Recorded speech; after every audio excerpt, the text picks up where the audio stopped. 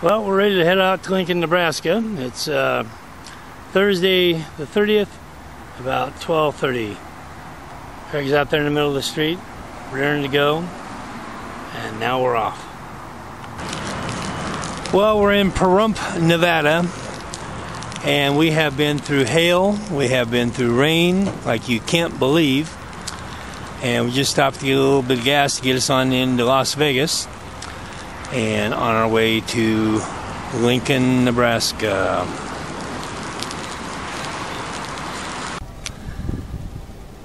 Well, it's about 9 a.m. on Saturday.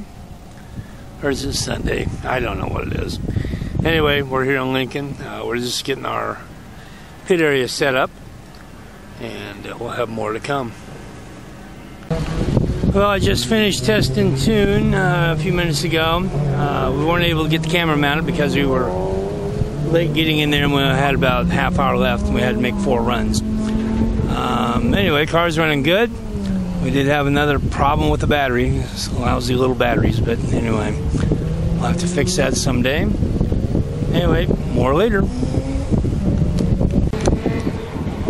Fiat of Omaha has lent us a brand new Fiat Abarth for the event to show off. And that's what we're doing driving around, showing it off, giving people rides. Lots of fun.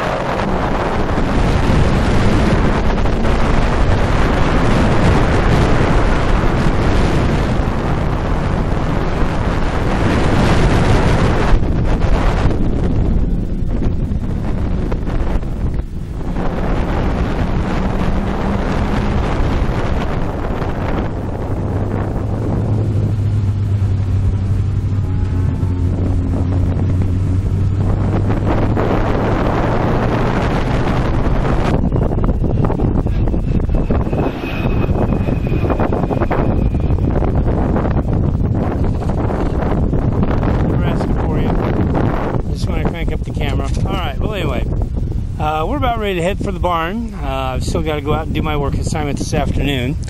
We uh, finished ninth overall yesterday, and we actually finished eighth in the event out of, I think, 12 or 13 cars. So it's not the best, not the worst. Uh, we'll see if we're going to do it again for next year. Anyway, hope you had fun following uh, along with our yarn here, and we'll see you later.